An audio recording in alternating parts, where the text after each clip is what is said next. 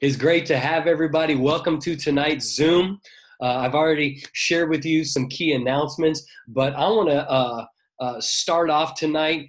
We're going to uh, have Pastor Abram come on and share for a minute. He recorded a video. I just watched it literally just a little bit ago. It is outstanding. And so I just can't believe we're in the last month of 2018. Really think about it. It's December 5th. We're in the last month.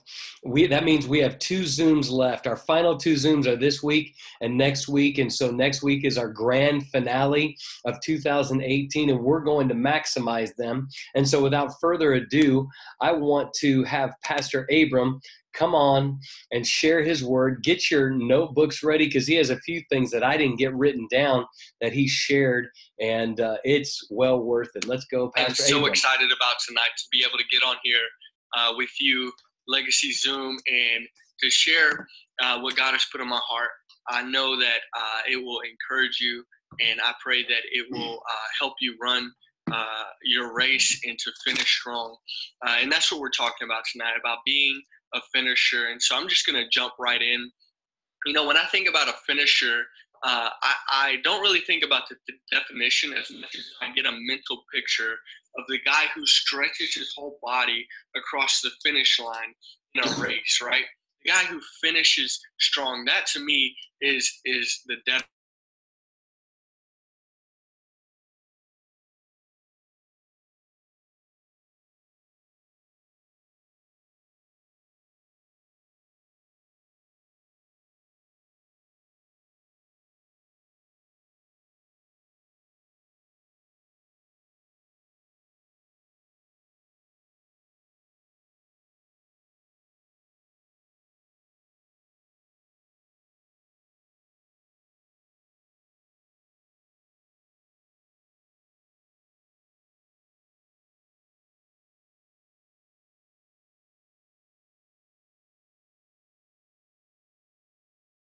get disinterested or you know I just got uh, caught up in other things.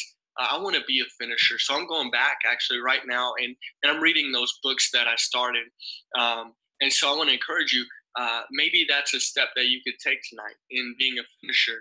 Uh, pick up the books that you might have laid down, or think about the things God has spoken to you that you haven't uh, followed through with, because God wants you to be a finisher.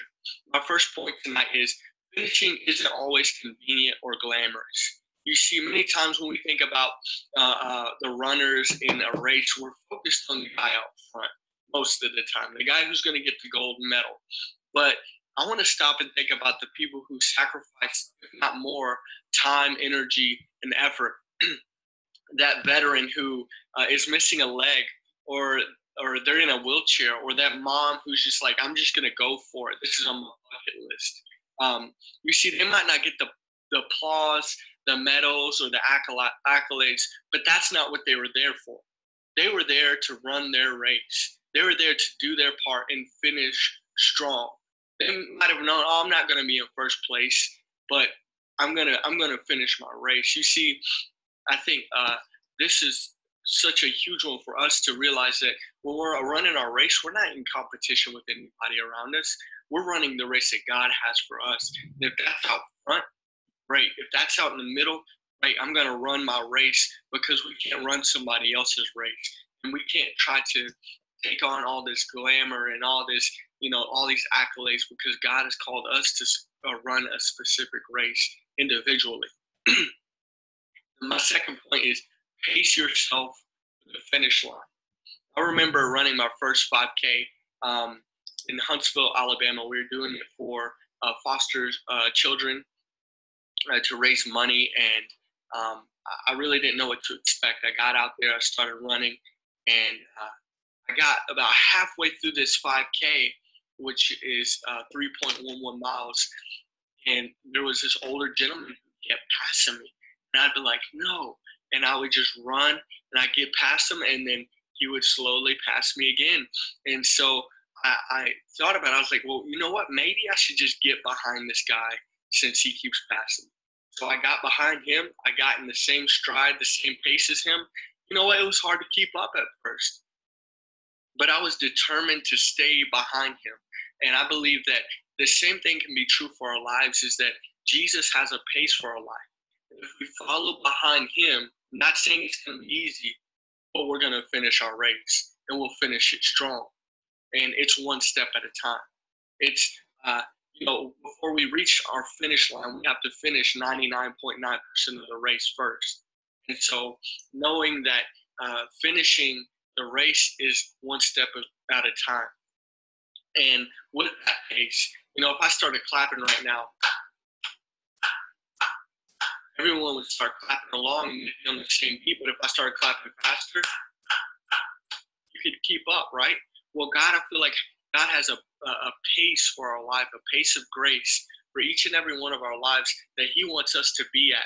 And if we're trying to go way too fast, the season that He's called us to run, you know, a certain pace, a little bit slower, then we're going to fall behind or we'll not be running as fast as we need to be. And the reason why I say that is because we might find ourselves striving instead of striding.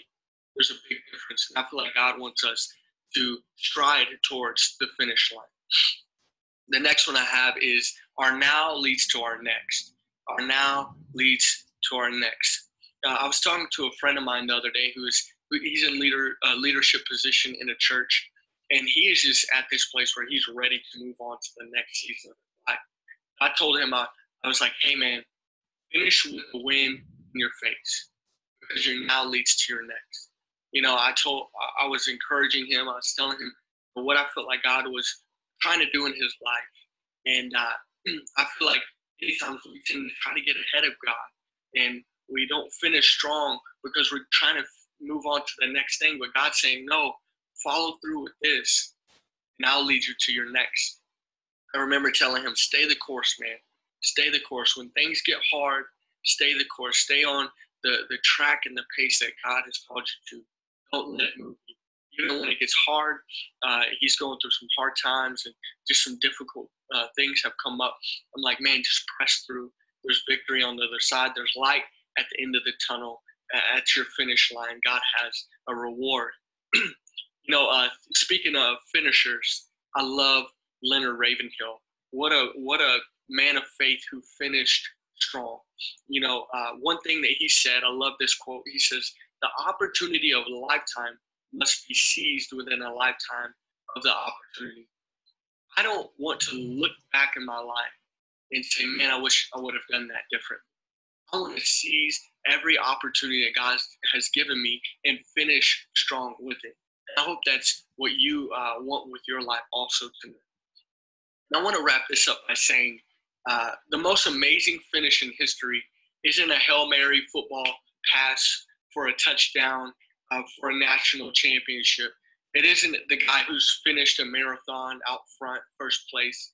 It isn't all of those things. It might not even be our race. It isn't our race.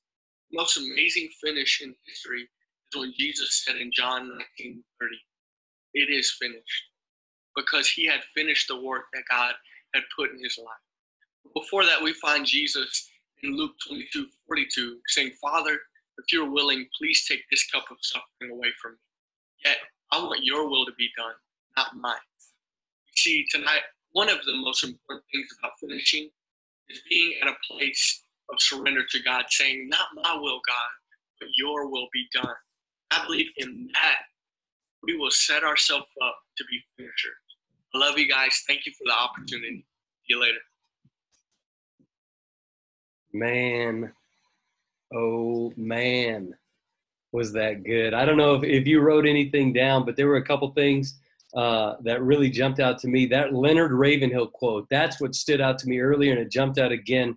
The opportunity of, of a lifetime must be seized within the lifetime of that opportunity and we haven't even discussed that maximizing opportunities and, and and following the promptings of the holy spirit in different things but that was so good but also we're not in competition with other people understand you're not in competition with other people. You're not in, in competition with anybody in the church you know, we're in the race that God has set out before us individually and for our families. And so, what God's doing in the Kenny's life is is far different and really inconsequential to what God's doing in Drew's life or in my life or Alice's life or Brooke's life and on and on and on. And so, I wouldn't have to worry or get upset if this person gets blessed. Praise God because they're in a they're in a different race than we are and then he asked, Are you striding towards the finish line or are you striving towards the finish line? Man, that was good stuff. I want to jump in uh, to my word. I need to share my screen. Hopefully, I don't blow it. But uh, with, the, with it being uh, two uh, Zooms left, I wanted to start with this scripture. Um, man, can I get it up in there to play? Crud. Let me see. There we go. Bam and everything. Nope, get back there. Huh. You guys are now. Huh. Oh well, I won't be able to see the uh the uh whatever the the slides because your wonderful faces are covering everything that I have written for whatever reason. But uh Psalm 65:11, one of my favorite verses that honestly it leapt off the page during my Bible reading time uh, several years ago. David says, "You crown the year with your goodness, not just goodness, God with your goodness." And then I love this: your ways overflow with plenty.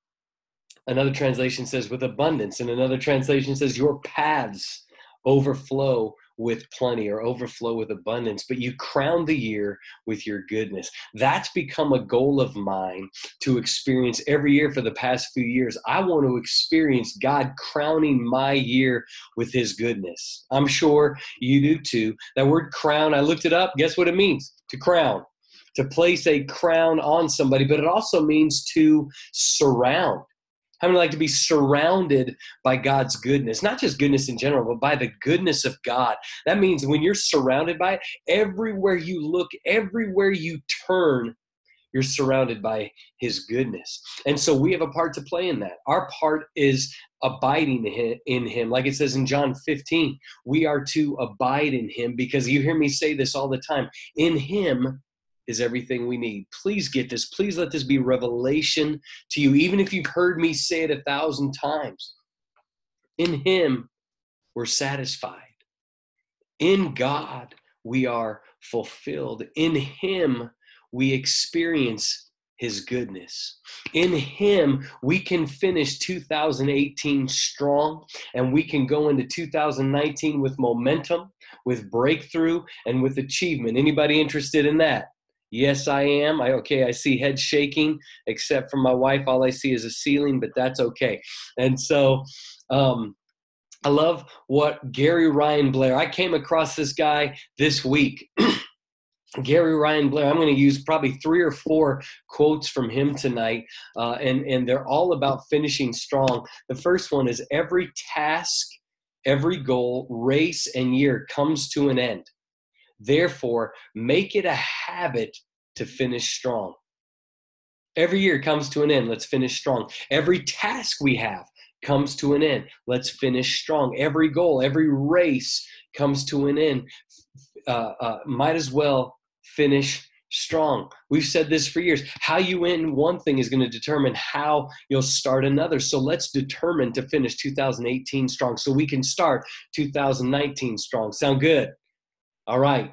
I'm assuming, yes, there we go, Brooke. Thank you for smiling and shaking your head, not just kind of mindlessly doing that. I appreciate that. We're in the home stretch of 2018, and, and this is the time to take advantage of the season. This is the time to kick it into high gear. Now, that may seem counterintuitive because typically this is the time we want to sit back, relax, pat ourselves on the back for a job well done, or chill out because we're exhausted from the year, we're exhausted from the season. But again, Gary Allen, Ryan Gary Blair says, what kind of competitor sees the finish line and slows down? Always finish strong. Think about that. You never see a runner like a sprinter. You never see a swimmer slow down near the finish line I mean, unless it's like Usain Bolt and he's, you know, 30 meters ahead of everybody else and he's looking back and he's showing up. Everybody, man, the closer they get to the finish line, the more effort they give. They strain with everything they've got to win the race or at least not come in last right? They're going after it with everything we've got. So for us, no matter how bad it hurts, no matter how bad your chest is pounding, no matter how out of breath you are from 2018, I want to encourage us on Legacy Zoom tonight finish strong. Understand, one way or the other, you're going to finish. So why not finish strong and make yourself immensely proud of your performance rather than embarrassed by your lack of it. One way or another, you're going to finish. Why not finish strong? And be proud of your effort. Be proud of your performance. Be proud of the way you finished rather than embarrassed by your lack of effort and lack of performance. No, for us, obviously, it's not about performance, but it is about faithfulness to your calling. It is about stewarding your gifts.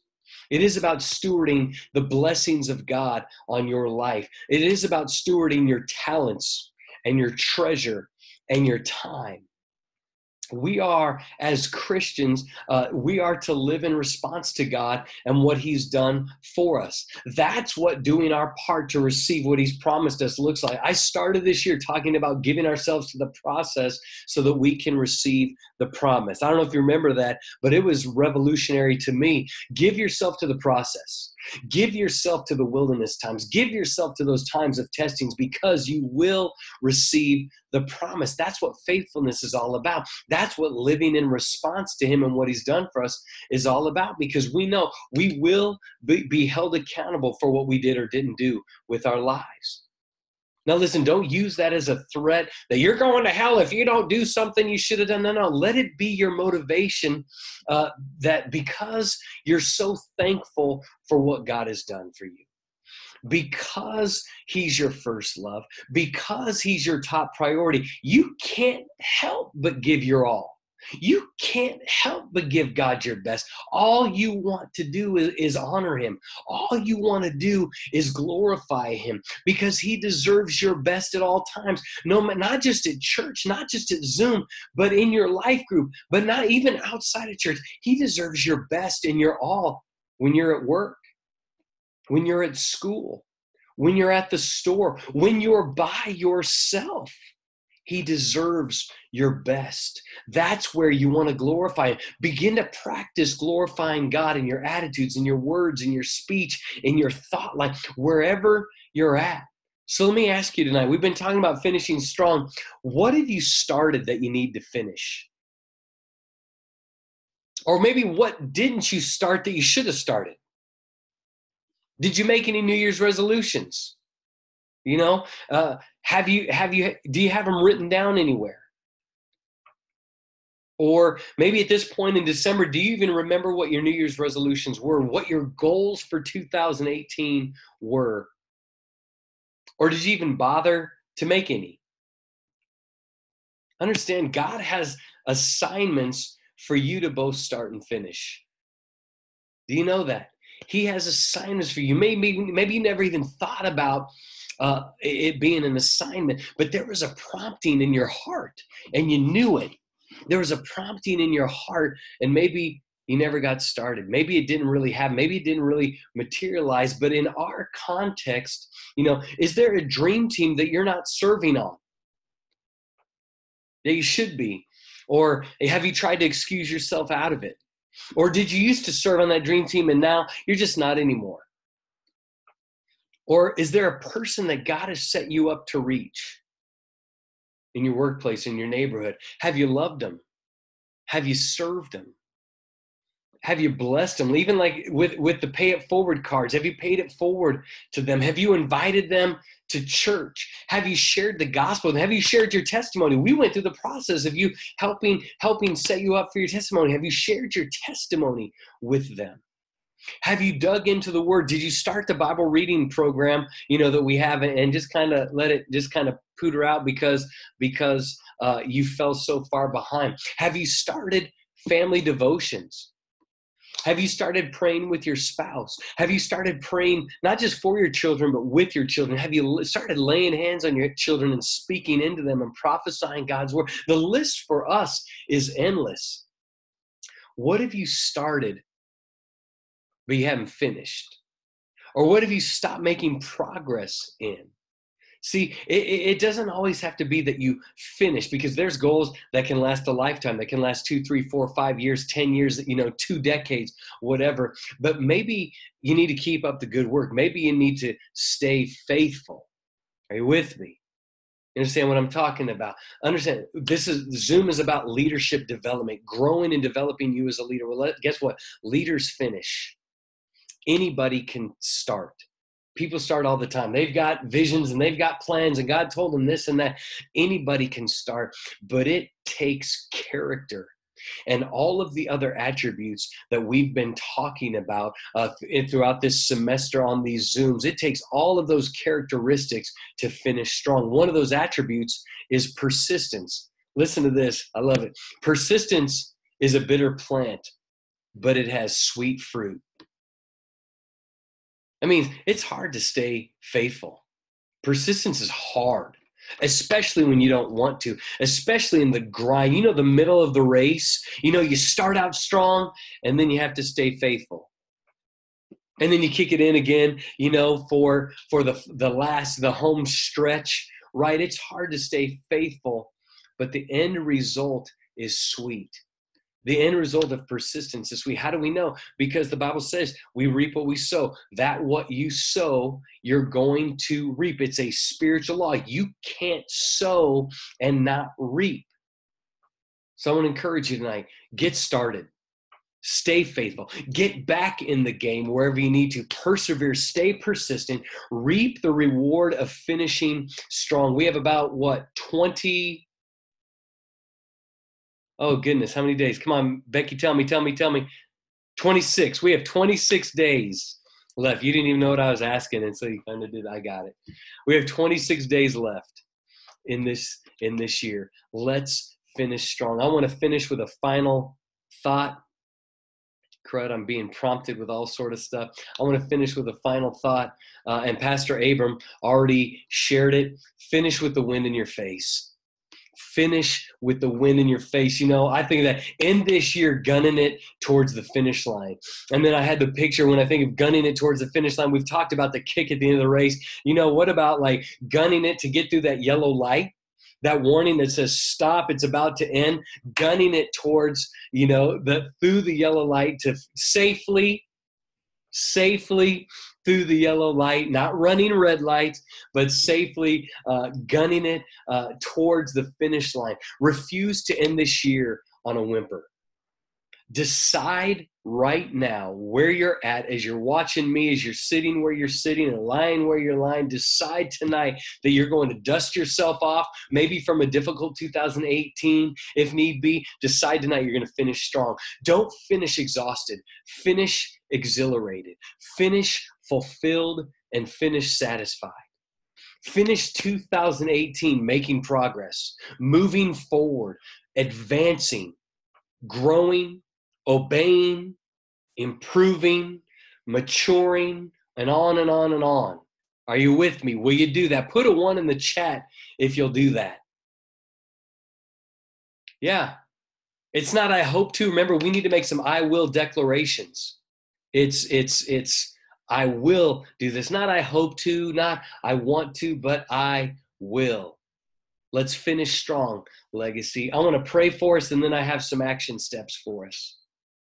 Father, in Jesus' name, I thank you that you are going to crown this year with your goodness. God, we receive that we receive the crowning of this year with goodness, God, that we would walk in your paths and that they would drip and overflow with abundance and blessings, God. We just want to walk in step with you. We want to abide in you so that you can surround us with your goodness, so that we can receive and walk in your goodness. Father, I pray for everybody on this line tonight, on this call tonight, make us finishers. And not just finishers, make us strong finishers that we would finish strong, that we would finish 2018 well, that we would go into 2019 strong, making progress, advancing, and moving forward, that we would finish with the wind in our face. In Jesus' name, amen. Hey, listen, here are our action steps for tonight. The first thing, I cannot do anything, crud. I got nothing. Well, I'm gonna have to put them on. There we go. Maybe I got something. I'm sorry. It's not allowing me. I don't have a cursor anymore. Oh well. Well, listen up, and I'll put them on. Legacies and don't laugh, Kenny's. I see you laughing. I see you chuckling. You're on there, and it's every time, and I see it. Here, here's our here's our uh, our, our action points.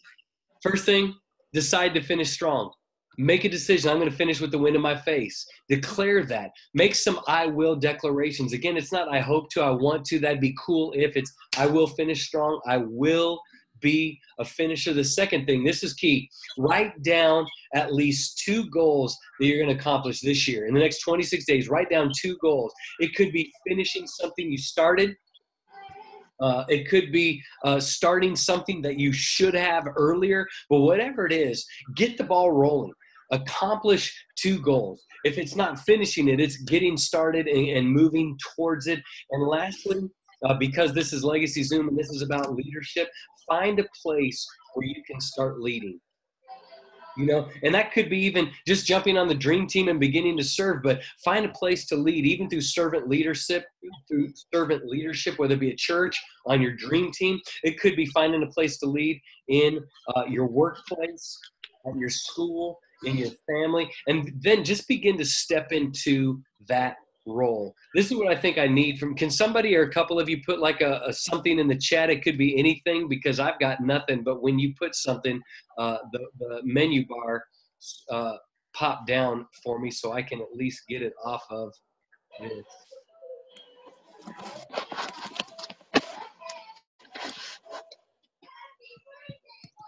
There we go. Ha ha! There we go. Thank you, everybody. And so I'm going to unmute. That is it for tonight. Good job tonight. Awesome. Let me unmute everybody. I love you.